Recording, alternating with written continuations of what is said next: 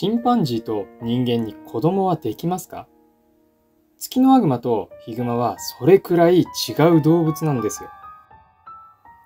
皆さんまた週刊誌が恐怖を煽るために大嘘記事を書いてるらしいですけど信じちゃいけませんよ。ヒグマとツキノワグマのハイブリッド。記事にはこう書いているそうです。事情を知っている知り合いの猟友会の人間も言っていたよ。嘘つきどころか、もう大嘘つき。この記事を書いた人間は取材もしていなければ、熊に関する専門書の一つも見ていないのが明白です。そんな無知な猟友会関係者なんて本当に存在するのでしょうか正直言ってね、熊関係の週刊誌記事でまともなものは見たことがない。忍者熊、三家別の悪夢の再来と森に盛られた OSO18 の正体はどうでした？皮膚病を患って漁師の前から逃げることもできない痩せ細ったただのオスのヒグマでした。熊の本を少しでも勉強している人であれば常識であるツキノワグマとヒグマでは絶対にハイブリッドなんてできないわけを今日は皆さんにお教えしましょう。はい、私ね、この動画怒りに燃えながら作っているんですよ。こちとら、かわいい、怖い、神々しい。いろいろな面を持つヒグマのことを少しでもリアルに伝えようと、いくつもの専門書を読んで、資料を集めて、そして現場にできるだけ行って撮影してきて動画を作っているのに、こんな熊の常識からかけ離れていることを皆さんにあたかもしっかりと取材してきたように記事にしている週刊誌のデタラメさにこの動画で皆さんにははっきりと100%月のアグマとヒグマのハイブリッドが自然界で生まれないことを知ってもらおうと思います。まずは簡単に月のアグマとヒグマの説明です。月のアグマは日本では九州を除く本州に生息していて、北海道には飼育されている月のアグマ以外いません。つまり北海道の野生には0匹です。体長は1から1.5メートルほどで、ヒグマに比べると二回りほど小さく、ヒグマと比べて襲われた際の死傷率も低いです。あとは、ヒグマよりもより草食の食べ物を食べていて、鹿や鳥などの死肉を食べたりもするんですけれども、自分から狩りをすることはとても珍しいです。雑食の生き物なんですね。対して、ヒグマは日本では北海道にのみ生息していて、本州には野生のヒグマは0匹です。平均的な大きさは1.5メートルから2.2メートルほど。月のアグマに比べるとかなり大きく、世界的に見ても大きなクマの仲間になります。ただし、実はヒグマはもともと九州を含めた本州全体に生息していて、北海道にはいなかった熊になります。これは化石から分かっていて、本州で見つかったヒグマの化石は約70万年前から1万年前の高新星という時代の地層で見つかっていて、同じくツキノワグマの化石も70万年前から1万年前の高新星時代の同じ地層から見つかっているので、ヒグマとツキノワグマはもともと日本の本州に同じ時期、同じ場所で生活していたと考えられています。そして北海道にヒグマが現れたのが遅くとも47万年前ですから、本州にヒグマが住み着いてから30万年近くも時間が経った後にヒグマは北海道に来ているということになります。さあ、難しい話で皆さんが眠くならないうちに本題です。ツキノワグマとヒグマの交雑種が絶対に生まれない理由を皆さんにお伝えしておきましょう。大きく分けて2つあります。特に2つ目の理由が決定的です。ヒグマとツキノワグマの交雑種、ハイブリッドが絶対に生まれないと断言できる1つ目の理由が地理的に断絶されていることです。昔はツキノワグマとヒグマは一緒の環境で日本に生息していたという話をしましたが、言い換えると、本州では1万年前にはヒグマは絶滅してしまっています。本州で生き抜くことができなかったんです。そして、その後、1万年にわたって北海道から本州に渡って数を増やすことに一度として成功していません。なぜなら、ヒグマが生息する北海道と本州の環境が大きく違うことと、北海道と本州の間には海流の流れが速く、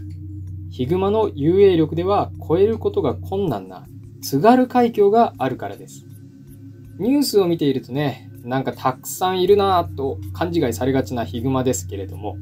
ヒグマは北海道民にとってもかなりレアな生き物です。北海道に60年住んでいても一度も見たことがないという人がいるくらいです。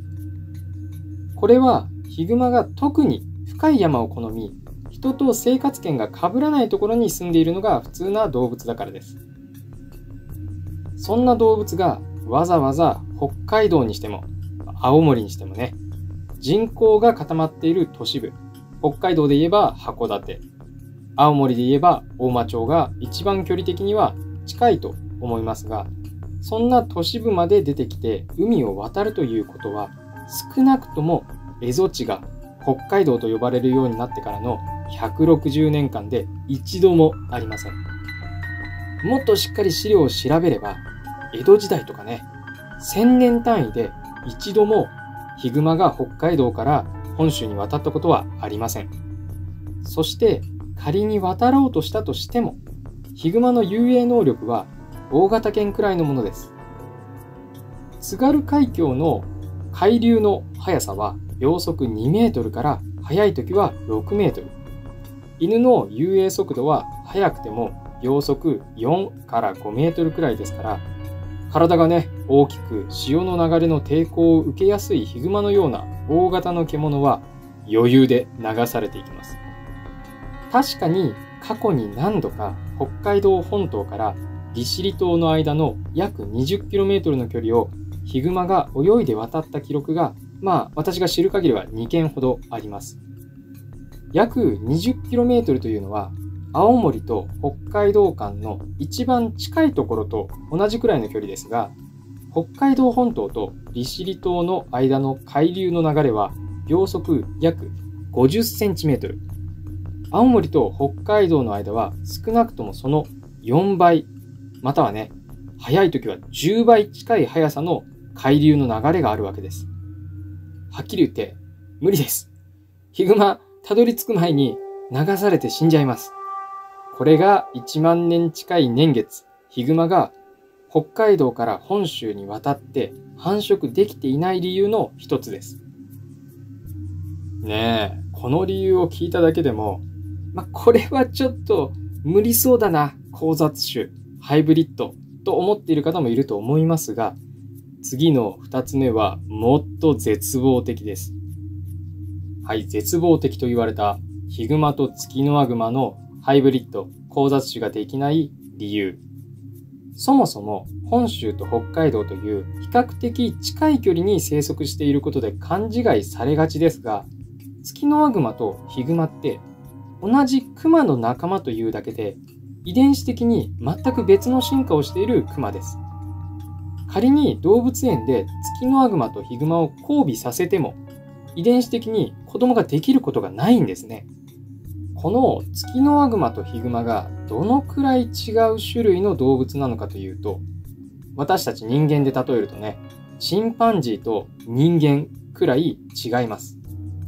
チンパンジーと人間の遺伝子は99%同じ人間と同じ生き物だと言われています。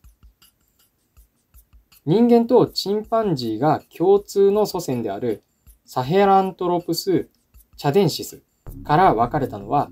約700から600万年前の間くらいだと言われています。99%遺伝子同じなんですよ、チンパンジーと人間。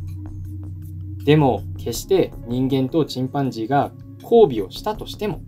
子供はできない。この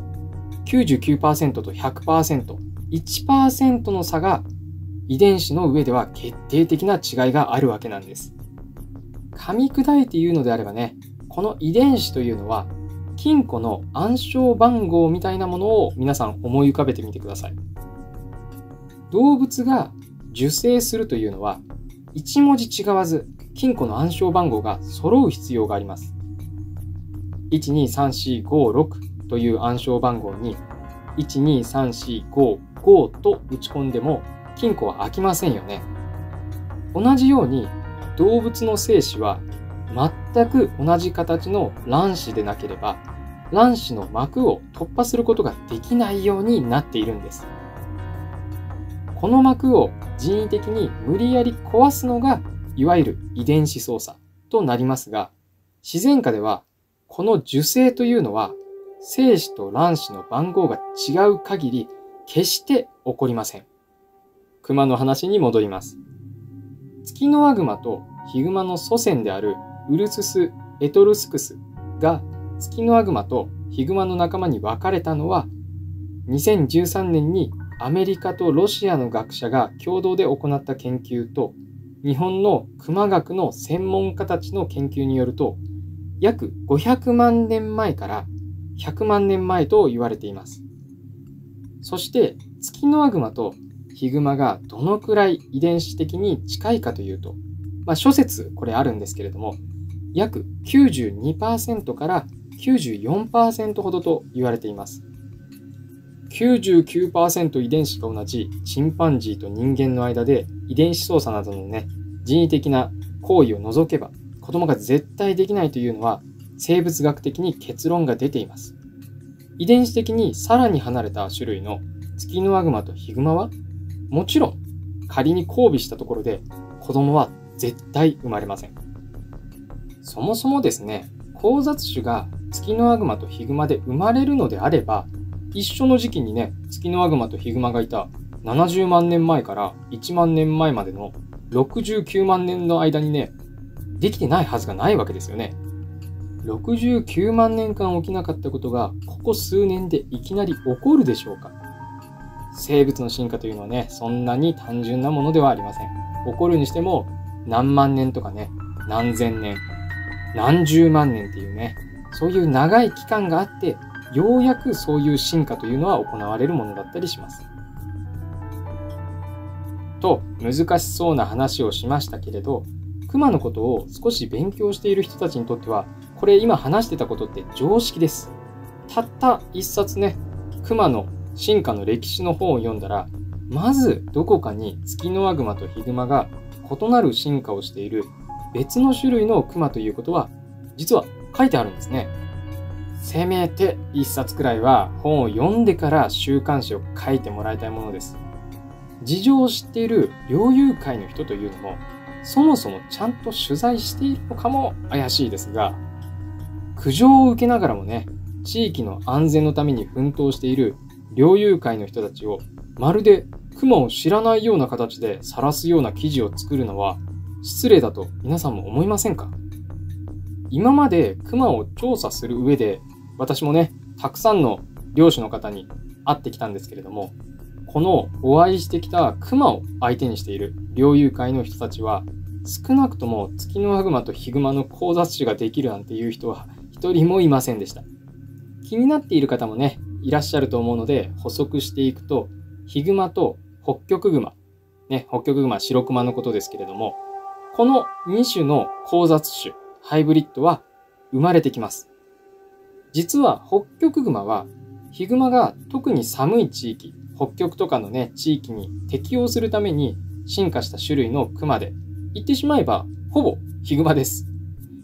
彼らが進化で分かれたのは一番古い化石で約10万年前と言われていて、北極熊は熊の中でも最も新しい種類の熊だと言えます。そして、ヒグマから分かれた北極熊は遺伝子的にも地理的にもほぼヒグマと重なっていて、10万年の間に何度も交雑を繰り返していた種類なので、彼らはツキノワグマとヒグマの関係とは違い、子供を作ることが可能なんです。さあ、ここまでね、難しい解説、皆さんよく聞いてくださいました。まとめです。ツキノワグマとヒグマの交雑種は遺伝子的にも地理的にもまず生まれてこない。不可能です。これは専門家たちの間でもほぼ結論が出ています。そして皆さん、参考文献、概要欄にね、載せときますので、ぜひ自分自身でもいろいろ調べてみてください。変なね、週刊誌に騙されちゃダメですよ。あの人たち全然熊のこと知らないで記事書いてますから。そして、今回ね、話させていただいたこと、初めて知りました。もっと熊のことを知りたいって人がね、いらっしゃいましたら、チャンネル登録ぜひよろしくお願いします。それでは皆さんまた次の動画でお会いしましょう。